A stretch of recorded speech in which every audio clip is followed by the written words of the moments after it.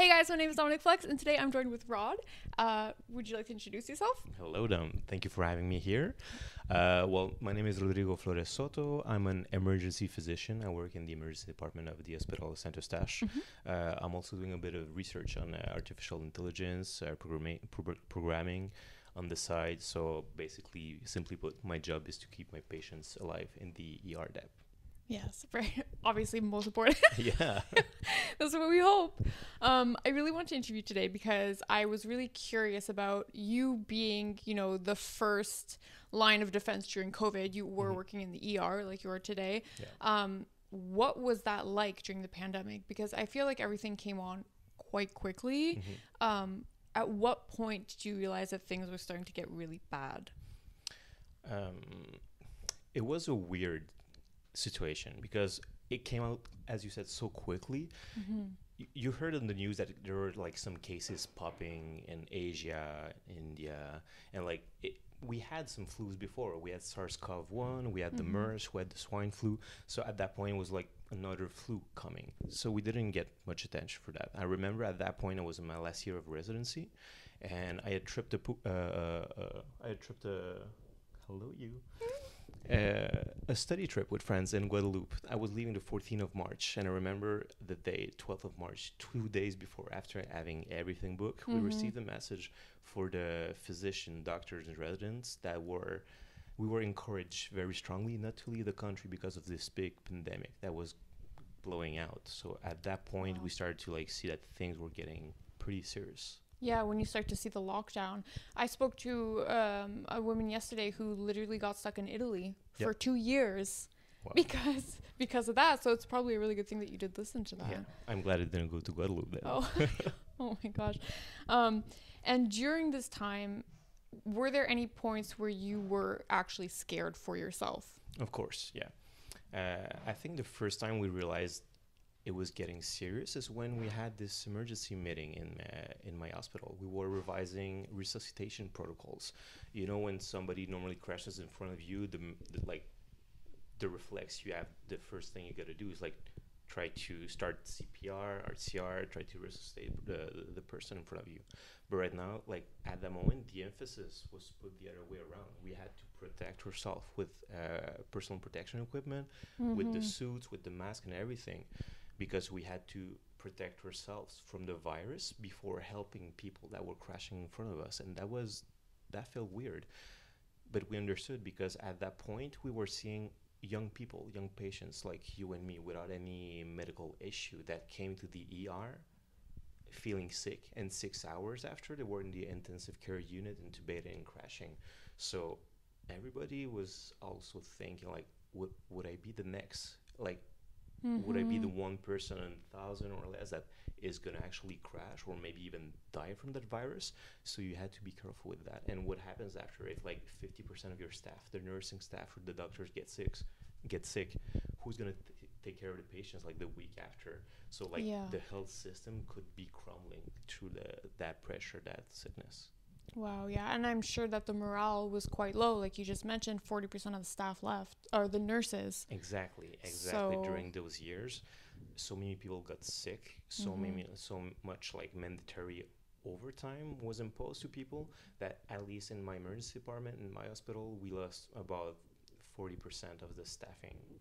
Wow. Yeah. And that's not replenishing today. No, exactly. We're still like trying to reconstruct the teams, and we lost also a lot of experienced nurses that were there for like 10, 15, 20 years. Mhm. So those they do have a big value that has been lost in there. Oh wow, that's yeah, that's that's really quite scary. During the pandemic, um, do you find that the healthcare, like the government, handled the pandemic well? I think they did good. They had a very difficult task at hand.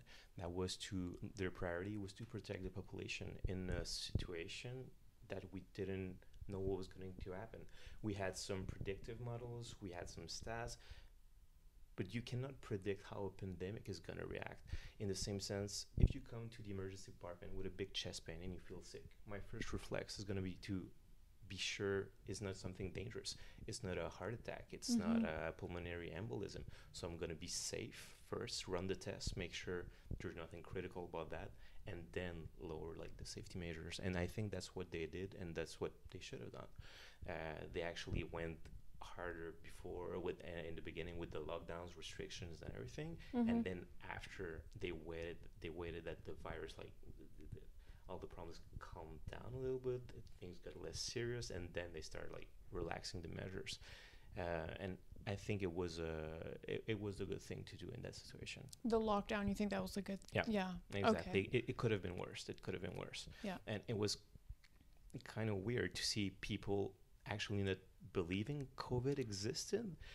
In the same shift, I could see somebody dying from COVID, went to the next patient, and like I had patients talking to me about how COVID was a hoax. And I just saw a couple of people die from that from COVID during the same shift. So like it, it was surreal living in that at that moment.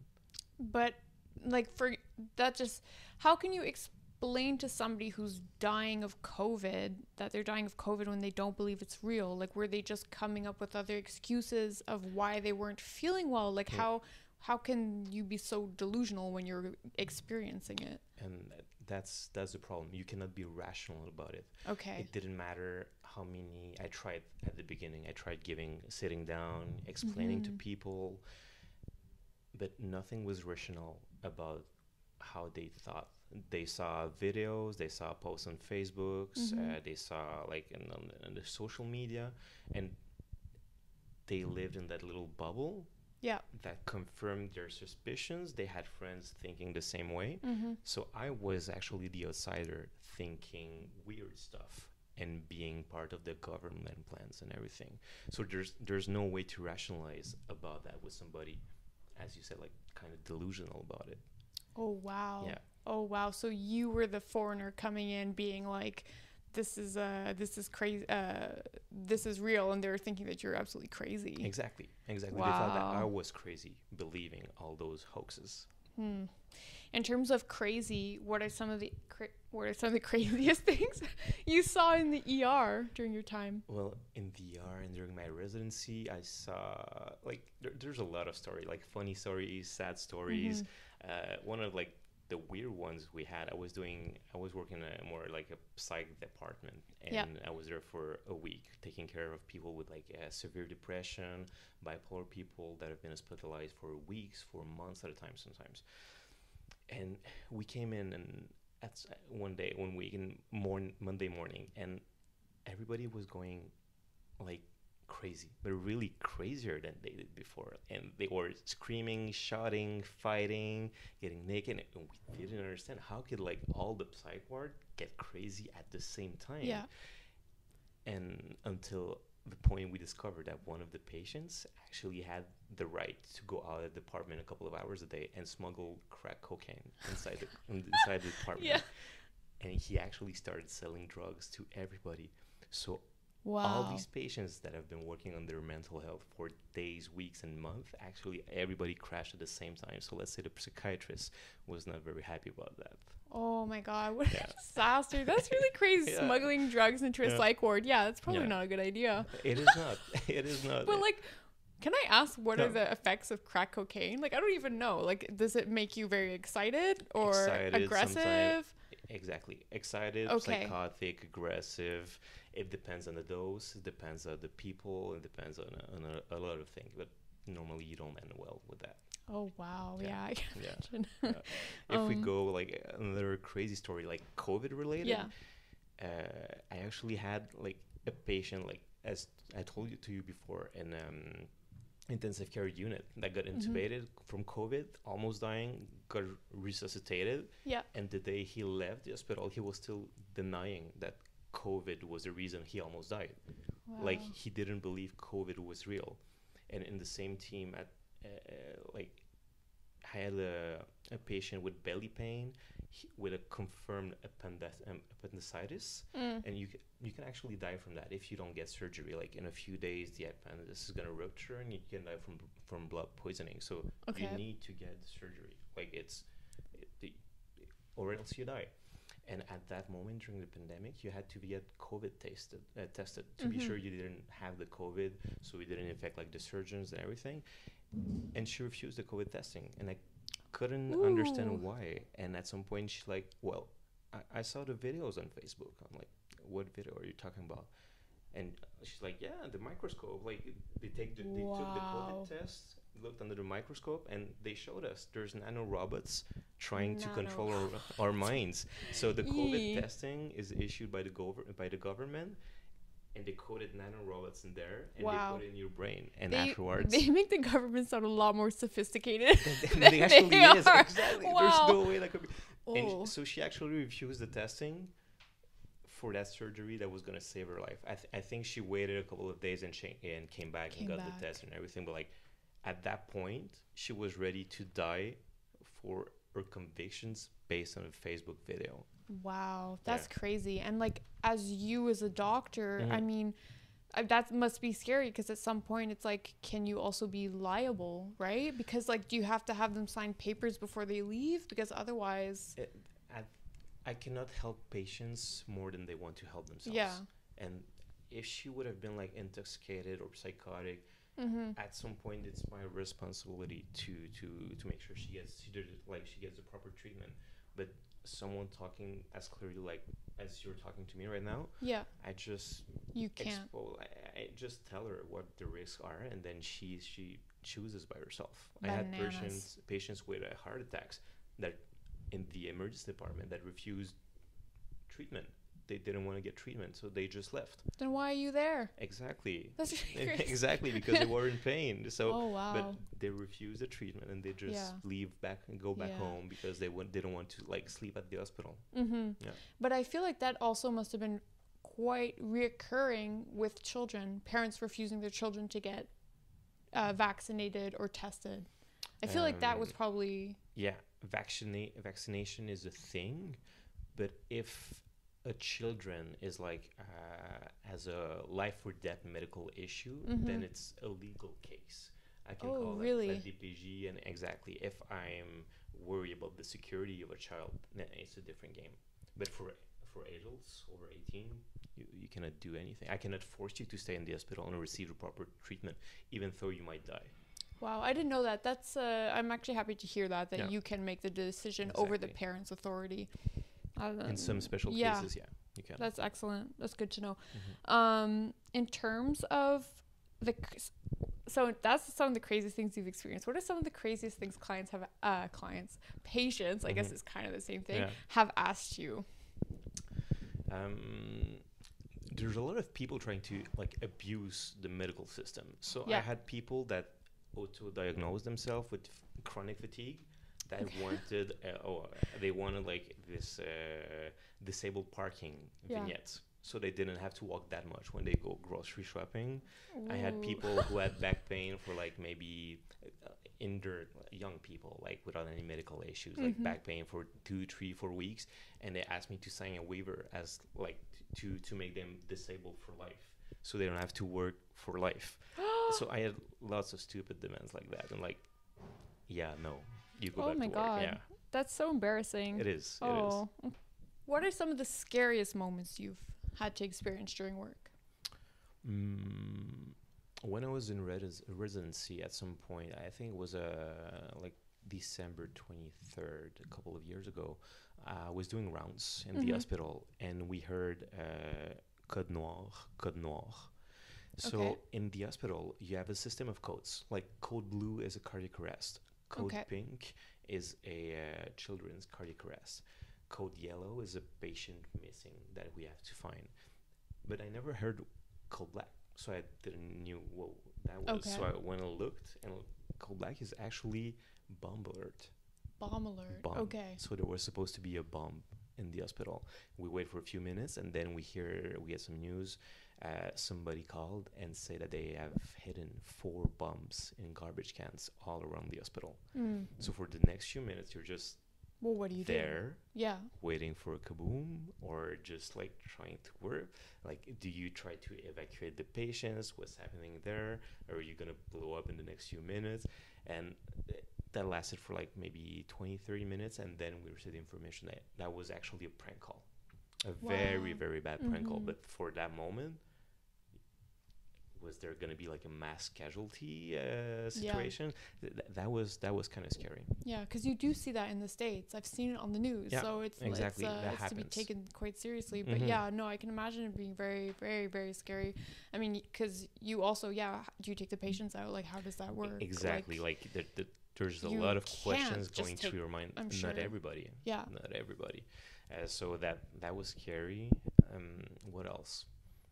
Well, t- you know, working in the emergency department, you see so much crazy stories, so much trauma, so much violence, so much drama. At some point, you get a bit desensitized by Mhm. everything because you're doing your job. The Yeah. patient that came in with a car crash, horrific wounds. You don't have the time to be anxious. You don't have the time to be sad or stressed. You just you got to be pragmatic, Cartesian. There's a it's like it's mathematic. Like you got a, a problem in front of you that you need to solve to help the people in front of you. But there's something about the code, les codes roses, pink codes. So those are children in Yeah. cardiac arrest. I think you never get used to that. Like trying to revive a kid that is dead or that is dying. There's that emotional toll. Like there's this family, it, like right besides, like that are scared, screaming, crying, and you remember each of these moments. Like I Mhm. remember the time I was trying to revive a little girl that committed suicide and looking eyes with her parents that were crying and they didn't understand what. Like those are big cases that they, they, they stick with you. hmm yeah, I can imagine. Um, is therapy a mandatory thing for doctors, or no? Is at your own discretion? It is not. It is not It's not mandatory. mandatory. Yeah, Okay. exactly. I think I think we do have some resources. Somebody like Mm-hmm. don't be, because you you see lots of like terrible things. Yeah. So we have some resources but like at the same time if you're working ER shifts, you normally know what you signed up. So Yeah. normally you got like physicians that are a bit less stressed, less anxious, able to cope more emotionally Mhm. as well. Okay, so it's almost you have to go in knowing a little bit of like a, having a certain disposition, a certain personality to go into. Exactly, Yeah. exactly. You don't survive that long if you're very stressed or anxious in the emergency department because it's chaos. You gotta Mhm. embrace and love and accept chaos at some point. Okay. Yeah. And can I ask then why have you chosen the ER instead of let's say ov- opening a private practice Mhm. or um, you know becoming more of a family doctor? Is there a reason why? Because it's intense, it's fast paced, and I got the Mhm. feeling that this is where I can help people the most and Mhm. the, the the fastest way possible. They come with medical issues, and I help them right there. They're satisfied. Okay. It's as it's as easy as that. Um, I mean, you can never say no to something, but right now, private practice, it's not something that interests me. Even like if some colleagues go there because they have like better quality of life, better Mhm. hours, sometimes better income as well. Yeah. My fo- vocation is in the emergency department where I can actually help people. That's what is gratifying for me right now. Oh, amazing. Yeah. And that kind of ties into something I heard recently from a friend who was studying to be a doctor. He really disapproved of uh, people, like doctors going into, you know, um, like plastic surgery. Mm-hmm. He thought that it was very much um, a waste of talent and that it should be used, their skills should be used for something that's more meaningful. Do you feel the same way or not at all? It depends. You gotta be careful because, like, there's a difference between plastic surgeons doing only aesthetic, Mm-hmm. as you said, like boob jobs or things like that. But the, the same plastic surgeon can help a woman like reconstruct, reconstruct breast Mhm. after they had breast cancer, so Yeah. they can help a woman feel more feminine afterwards. And plastic surgeon will as well like take care of like big burn patients with skin graft. So there's a there's quite a, There's a difference. balance. Yeah, exactly. Okay. There's a difference, a balance in there. Of course, I wouldn't see myself being like a, a family doctor can be can open private practice in aesthetic medicine. Mm-hmm. Yeah. it's not something that will fulfill me. So Yeah. personally, I would not do that. But I I do have friends that go into that avenue and they are very satisfied with that. Okay. Speaking of boob jobs, I recently saw a girl on TikTok who went to Turkey and paid a third of the price for a boob job. What is your opinion on that? Because seeing that, I just like automatically, I'm like, oh, this was not a good idea. This is not a good move. Don't do that, please. don't do that. Yeah. We have a standard of care that is very high in Canada about medicine, about Mhm. everything. Everything is super legalized. Everything is super like checked upon. They don't have that in different countries. There are some good doctors in other countries, but it, it's not as regulated as that. So yes, sometimes people go out of the country to get surgeries, but Mhm. I did have lots of those coming back to the ER with infection, with with problems with and uh, almost dying actually. Like if you do a surgery back in Turkey, like what would the follow up be like? You don't have a follow up appointment. Who are you gonna call? What doctor are you gonna call to like yeah. to tell them like the, the, the, skin incision looks infected? I don't feel really well. So there's a Mhm. lot of complication associated to that. I would say just pay more, but stay alive. Yeah. Stay alive. Yeah. um, but no, because like also even it's not even just like the follow up, but I feel like I would be so afraid of coming back without a, a kidney. Like it, it, it actually happens what I like mean? in Thailand. Like, it, like- it must happen yeah, those are Um, like true stories. Because you're budgeting somewhere, so they have to make up for it at some point. Like exactly. it doesn't make sense. Exactly. I wouldn't. I would not trust that. Like if I get sick uh, overseas, and like I can, I can like stretch the the time of the operation. I I try to come back to Canada, Quebec. Okay. Yeah, yeah, one hundred percent. Okay, like when they you ha- you check the little flyback option if you're stable. Exactly. if Oh, I'm stable, okay. I would totally fly back. Yeah. Yeah, That I wouldn't risk sense. it. Okay. Um. Oh yes. Spill the tea, Rod. Yeah. This is what I want to know. Amongst doctors, do Mhm. you guys have some sort of like um sly eye to some of the other doctors? Like, do you see a foot doctor and you're like, you're not a doctor? Is there? Um, yes and no. I mean, they are doctors of the foot. They're way Mhm. better than me at taking care of foots, and i it's okay. So everybody can like like the- the dentistry. They're better than me at taking care of. They, they are doctors as well. so they are doctors. yeah, Okay. yeah. Those one are. But sometimes you see on Facebook uh, that guy who like trained an online certificate, like a clinic of neuroscience, and tried to realign their chakra, and he called himself doctor, and people actually go to him to receive health counseling. That is dangerous. Okay. That is very. I've been some of these like so-called doctors Facebook group, and what they recommend to patients is, is actually it can be dangerous in some situation. So Mhm. I, I would advise people to be to be cautious of Yeah. those kind of But pseudo doctors. Oh, a hundred percent. That's like, for example, when Roe v. Wade happened and abortions became illegal. I don't know if you saw this, but Mhm. on TikTok, um, all these people started going to TikTok and saying, "Oh, you can take these herbs, which will induce an abortion." And then what ended up happening was all these doctors started coming on and being like, "Don't do that. Mhm. You're literally intoxicating yourself to the point that you're inducing. You can potentially induce an abortion or like a miscarriage, Yeah. right?"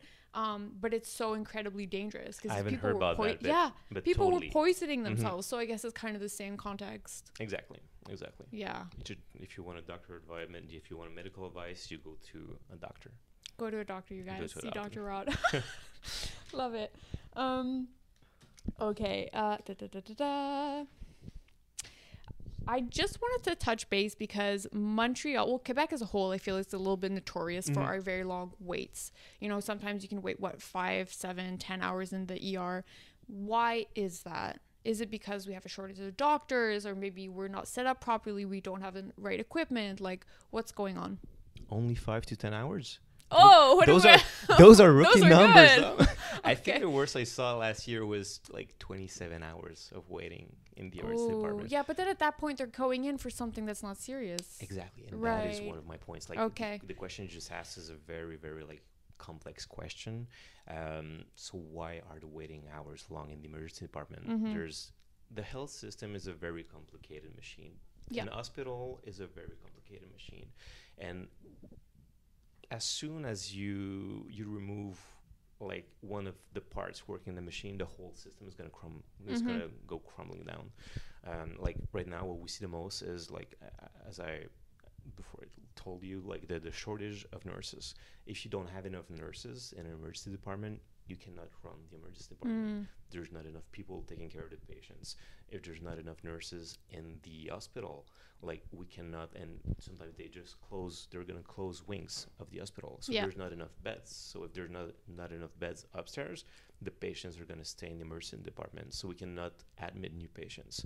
So every actor in the in the health system is is very very important. I remember at some point we didn't have any clerks during the night, so not having clerks during the night means sometimes nurses have to do their job. So once again, well, like we're short on staff. The machine cannot function properly. Janitors during the COVID, when you don't have enough janitors, you see a COVID positive patient, and he's discharged, goes home, but then he has to disinfect everything because if you don't clean like the Mm. bed and the next patient comes in, he's gonna get sick with COVID. So at some point, I remember like we had a shortage of janitors and we couldn't see patient fast enough because they couldn't clean the beds fast enough. Wow, So- something so silly has Eh, such a big impact. Exactly. Yeah. Exactly.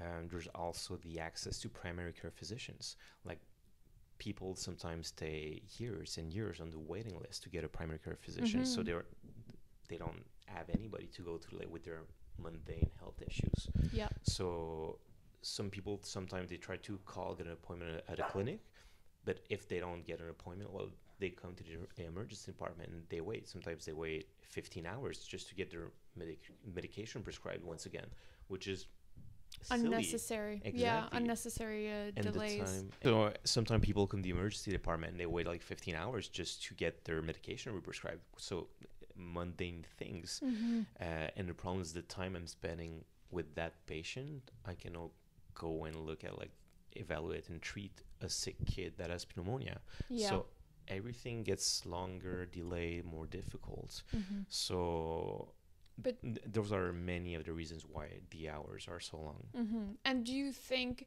that, let's say, like pharmacists should be able to almost diagnose these minor problems that these people have to r- alleviate the medical system? Yep. Because like if I like if Mhm. I have a let's say a UTI, I mean I kind of know what it is. We've all had one at some Yep. point, right? Shouldn't I just be able to go to the pharmacy and ask for that medication? You know, Yep. like Well, they actually do. Yeah. So there's a. Uh, I can send you the, the link. You can put in Mhm, your podcast yeah. afterwards if you guys are interested about that. Yeah. But um, they actually do, and they can prescribe some medication under cer- Mhm. certain con- conditions. Like for the UTI, if you had Yeah. an UTI for the in like between the the five past years, and you Mhm. have that medication in your profile, they can re-prescribe it once again. okay. If you have like uh, herpes, uh, they can re prescribe that as well. If you're going on a trip and need prophylaxis f- for mountain uh, mountain sickness Mhm. or uh, malaria, they can prescribe those kind Yeah. of things as well. But these are all re-prescription, right? So the initial time you'd have to see a doctor. Mhm. Some of these are re prescriptions, and Mhm. other ones are you don't need to have the medication in your profile. So it depends on the Yeah. medical issue. And do you think we should push this further, or it's not a good idea? Uh, I think we should push it further. Further. until the pharmacist like they can accept and they know their limits. Mm-hmm. So there are very good pharmacists who when they're not sure they're gonna they're gonna tell the patient to go to the emergency department because what we don't want is to is to somebody somebody have a medical problem that's gonna deteriorate at home without the evaluation evaluation of a of a doctor. mhm. Exactly. Proper equipment, a doctor, yeah, more Exactly. extensive. Uh, because you can actually have a UTI, but Mhm. if you feel sick, have nausea, vomiting, start having fever, well, that means the UTI got to the kidneys, and that is now a pyelonephritis. And Mhm. if it's not treated properly, you can die from septic shock. Okay. hmm So you have to be careful about that. So it's a very, very fine line, and I'm guessing that they would re- also require a lot more education. Yep. Yeah, hundred percent. Mhm. Okay. I see you smiling. I see you smiling. Let's okay. go. So I wanted to end on a good note. Yeah. Um, I saw recently on TikTok an Mhm. ER doctor, and he literally was pulling up scans of, uh, I guess, radiographies of people's insides and real life images of what people were putting up their rectums. Let me tell you, I think people get pretty creative. And I would like to know is this really a thing? Okay, so the, um, the human mind is very creative. Mm-hmm. The human mind and drugs, that is that is something. Oh, wow. So I think a simple rule is if you thought about it, it's happened. it has been done. Oh wow. Name it fruit, vegetables, bottles, toys, still turn on toys, anything on in any hole. Oh it wow. has it has been done. It has been done. And is been- this always one on one with drugs every single time? No, No. not always. Just boredom. exactly. Sometimes boredom. Um, I got one of my colleagues who got a patient. Who has you know what a colostomy is? Nope. So a colostomy is when you need a little bag. Okay. So you got your intestines. You don't Mhm. poop by your rectum, right? Okay. So you need a little Baggy to discharge the exactly matter. through Yeah. the through the abdomen. Mhm. So you have a little. The end of the intestines is, is in your abdomen, and you discharge from there. And he actually caught chlamydia in there. So I'll let you imagine what was happening, and we can end on that. Thanks. Oh, wow. Okay. Oh, I didn't even know that. Exactly. All right. So Let's I be got creative. get creative. So I have a game for you, Mhm. and I want you to tell me if you think this is real or fake. All right. Let's go. Let's go. I love that game. All right. Christmas cane, real or fake? Oh God. Don't try to cheat by looking at the X-rays. By That- the way, that- that's what I do. that, that's my job. I look at the X-ray. Uh, that one is real. Candy cane. Yeah. Real. Yeah. Unfortunately, Uh, that Very had to hurt. Christmas. That had to hurt. a drill. That's a drill. Fake. Correct. That's real. Pestle. Yeah. Yeah. Real. What What is pestle?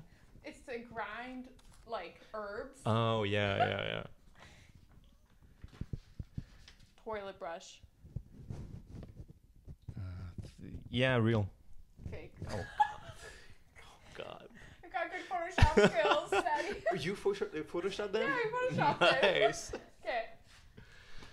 Mason, mason jar. jar. Yeah, real. Yeah.